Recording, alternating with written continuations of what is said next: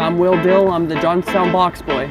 Box Boy is some, just something I came up with as a kid. I was bored, I want to make people happy, make people smile, make people laugh, and uh, I've been doing it ever since.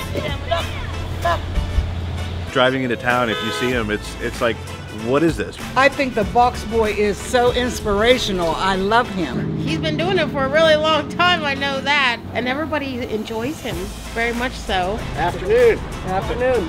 Uh, throughout the years, I've made all kinds of different uh, looking box boy outfits, but over time I added arm boxes, torso boxes, leg boxes, helmets. I've had at least like 50 different costumes at this point.